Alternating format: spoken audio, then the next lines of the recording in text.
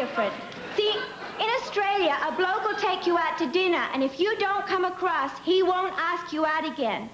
It's different in Los Angeles. Here, you don't get dinner. Only one man called me up and said, would you like to have dinner before I take you back to my apartment? I said, that would be lovely. He said, I'll pick you up about nine. You should have finished eating by then.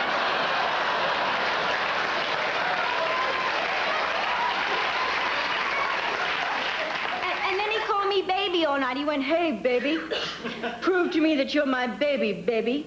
I did. I dribbled on his shirt.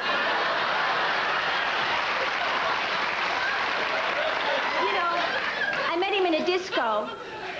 And you know the kind of man you meet in a disco is the kind that blow dry their chest hair?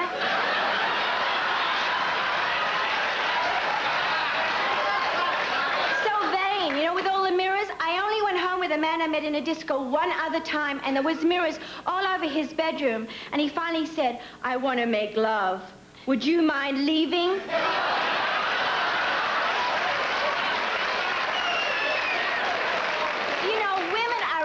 Independent here, and I really admire Georgia Rosenbloom Frontiere, because she owns the Rams, and she can go out and watch them all bend over in the line of scrimmage and say, just think, I own every tight end on that field.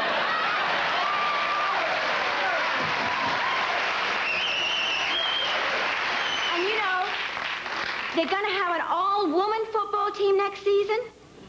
No tight ends, all wide receivers.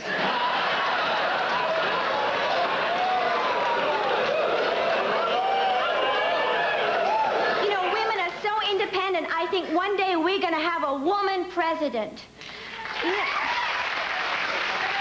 Yeah, and a, a, woman president would be great because she would save the country money because she would only make half of what a man president makes. and even with Billy and Jimmy Carter gone, there'd still be two boobs in the White House.